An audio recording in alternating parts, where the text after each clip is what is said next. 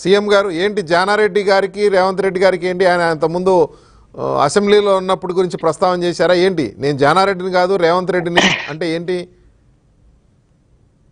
అంటే నాకు దైవ సమానం లేనటువంటి నా గురువు గారు జానారెడ్డి గారి గురించి ఈరోజు మాట్లాడాలంటే ఆయన గురించి పూర్తిగా కూడా అవగాహన ఉన్న వ్యక్తిగా నేను కాన్ఫిడెంట్గా చెప్పగలుగుతా. ఒకటి నీతి న్యాయం ధర్మం అని అంటారు. సాంప్రదాయక రాజకీయాలు అంటారు.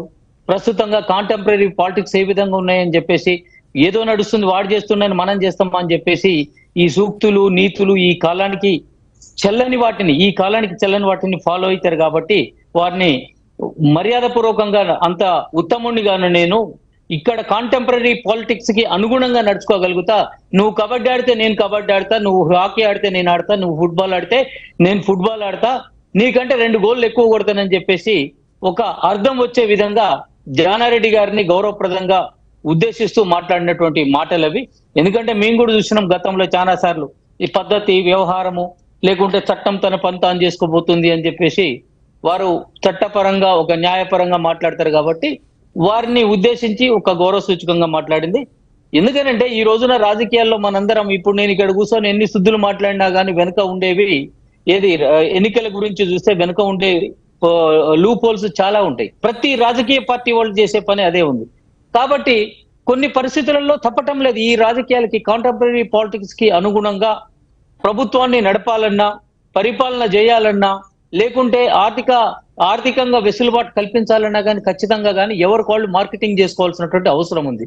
ఈ సందర్భాల్లో విమర్శలతోని తప్పుడు ప్రచారాలతోని ఏది మన ఆ మేకపోతు గాంభీర్య గాంభీర్యాన్ని ప్రదర్శిస్తూ డాంబికాలు పలకటం గాని ఇవన్నిటిని కూడా చాలా చూసినాము.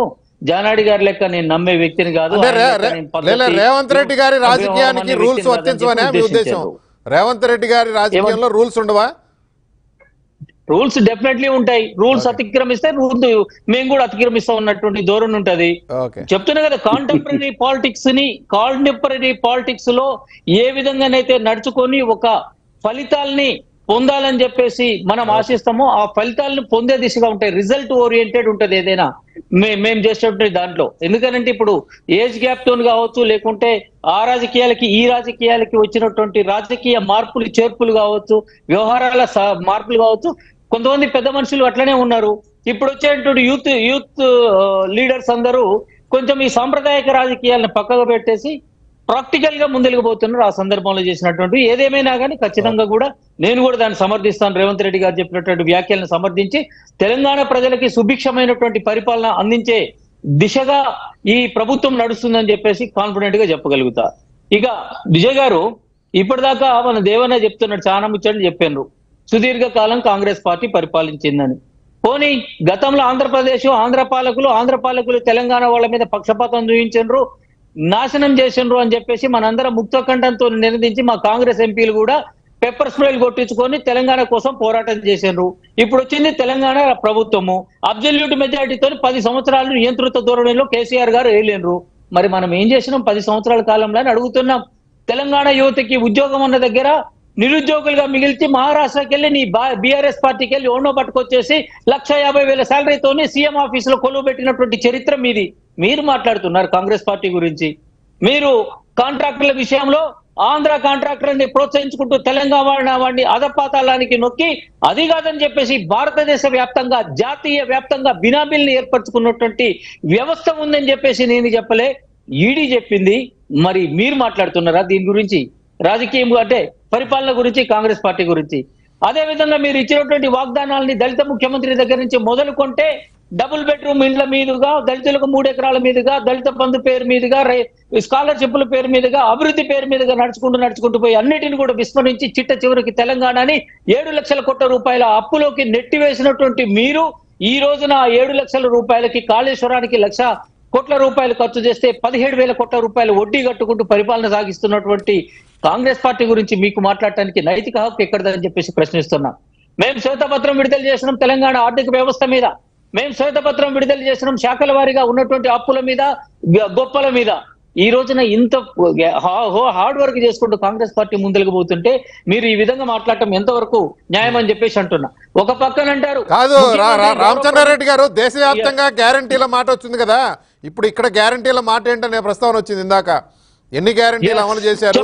ఆ గ్యారంటీలో ఉన్న ఖచ్చితంగా ఐదు ఐదు గ్యారంటీలను అమలు చేసినాం మేము. ప్రప్రథమంగా ఆర్టీసీ ఫస్ట్ మేము ప్రజాభవన్గా తీర్చిదిద్దినాం అక్కడి నుంచి. అదే రోజు నుంచి ప్రారంభమైనటువంటి మా గ్యారంటీల అమలు అనేది మహిళలకి ఉచిత విద్యు- విద్యుత్ ఉచిత బస్సు కానివ్వండి ఈ రెండు వందల యూనిట్ల ఉచిత కరెంట్ కానివ్వండి గ్యాస్ సిలిండర్ కానివ్వండి ఆరోగ్యశ్రీ పది లక్షల దాకా పెంచడం కానివ్వండి రైతు బంధు భరోసా కానివ్వండి ఇవన్నీ కూడా మేము చేసి స్ట్రీమ్ లైన్ చేస్తున్నాం. దిస్ ఈజ్ ఇన్ ప్రాసెస్ వంద రోజులు ఇవాళకి మాక్సిమం నూట ఒకటే నాలుగు నెలలకు తక్కువనే మా పరిపాలన అయిపోయి. అయినా కానీ మేము ఇచ్చినటువంటి హామీల్లో సింహభాగం కూడా అమలు చేస్తాం ఈ రోజున తెలంగాణ రాష్ట్రానికి వచ్చేసి దేవన్న చెప్తున్నాడు నువ్వు జాతీయ స్థాయిలో మాట్లాడాల్సిన మాటలు ఈడొచ్చేందుకు మాట్లాడుతున్నావు అని. ఎందుకనంటే మేము వచ్చింది తెలంగాణ రాష్ట్రానికి తెలంగాణ ప్రజలను ఉద్దేశించి మాట్లాడటానికి జాతీయ నాయకులు వచ్చింది కాబట్టి ఇక్కడ స్థానిక పరిస్థితుల్ని అన్వయించుకుంటూ మాట్లాడాల్సినటువంటి అవసరం ఉంది. అయినా కానీ ఇందులో తప్పే ఉందండి. లక్ష ఒకే ఒకటి కంప్లీట్ చేయండి. మా నిన్నటి గ్యారంటీల గురించి కూడా చెప్పాలి కదా నేను. ఇప్పుడు లక్ష వేతనం ఒక నిరుద్యోగికి ఒక సంవత్సర కాలంలో ఏదో ఒక లక్ష రూపాయలు సంపాదించుకునే అవకాశం ఇస్తానని చెప్పేసి లక్ష వేతనం ఒక యువ న్యాయం అని చెప్పేసి ఒక హామీ ఇచ్చినాం. రుణమాఫీ కింద వచ్చేసరికి స్వామినాథన్ కమిషన్ ఆధారంగా మద్దతు ధరకి మేము చట్టబద్ధత కల్పిస్తామని చెప్పడం జరిగింది. జనగణన చేసి అసలు ఇక్కడ ఉన్నటువంటి జనాభా ఏ ప్రాతిపదిక నుండి రిజర్వేషన్లు ఎంతవరకు అవసరము ఎవడు అనుభవిస్తున్నాడు అన్నది పూర్తిగా తీసుకొచ్చి ప్రజల ముందర పెడతామని చెప్పినాం. అదే విధంగా ప్రతి కుటుంబంలో ఒక మహిళలకి లక్ష రూపాయలు ఇచ్చేసి ఆమె డ్యూయల్ రోల్ ఇంట్లో గృహిణిగా బయట కష్టపడి సంపాదించే ఒక మహిళగా కూడా ఆమె కష్టాలు తీర్చడానికి కాంగ్రెస్. పార్టీ కంకణబద్ధమైందని చెప్పేసి తెలంగాణ రాష్ట్రంలో చెప్పి చిట్ట చివరగా శ్రామిక న్యాయం పేరుతోని పనిచేసే ప్రతి ఒక్కరికి కనీస వేతనం నాలుగు వందల రూపాయలు ఉండే విధంగా కాంగ్రెస్ పార్టీ చర్య తీసుకుంటుందని చెప్పేసి నిన్న బహిరంగ సభలో అతిరథ మహారథులైనటువంటి మా కాంగ్రెస్ నాయకులు చట్ట ఒక అథెంటిక్గా మాట్లాడినరు. రేపు తెలంగాణ ప్రజలందరూ కూడా వాళ్ళందరూ కూడా సమాధానం వాళ్ళందరూ కూడా రెస్పాన్సిబుల్ అని చెప్పేసి ఒక సందేశాన్ని ఇచ్చి మాట్లాడిండ్రు ఎందుకంటే ఏం కావాలండి? తెలంగాణ గడ్డ మీద ఐదు న్యాయాలు ఇరవై ఐదు సూత్రాలు వీటన్నిటితోని గ్యారంటీలతోని కాంగ్రెస్ పార్టీ వాగ్దానం ఇచ్చింది. మేము ఇక్కడ అధికారంలో రాకముందు అదే ప్రాంగణంలో ఏ విధంగానైతే ఆరు గ్యారెంటీలు ప్రకటించడమో ఇప్పుడు అదే ప్రాంగణంలో అధికారం వచ్చిన తర్వాత ఇక్కడ ఉన్నటువంటి ముఖ్యమంత్రి తెలంగాణ ముఖ్యమంత్రి రేవంత్ రెడ్డి గారు మిగతా. మంత్రివర్గ ఆయన సహచరులందరి సమక్షంలో మా యువ నాయకులు రాహుల్ గాంధీ గారు మా అధ్యక్షులు ఏసీసీ అధ్యక్షులు ఖర్గే గారు మిగతా అతిరథ మహారాజులైనటువంటి నాయకులందరూ కూడా ఒక అథెంటిక్గా పబ్లిక్గా ప్రకటన చేసిన దానికి కట్టుబడి ఉంటారు. ఇదండి కాంగ్రెస్ పార్టీకి ఉన్నటువంటి చిత్తశుద్ధి. ఇప్పటికీ దేవన్నకు చెప్తున్నా ప్రకాష్ రెడ్డి గారిని మాట్లాడేది కూడా దేవన్న గారు చెప్పండి. గౌరవం చెప్తారు. దేవన్న మళ్ళీ చెప్పండి. చెప్తాడు.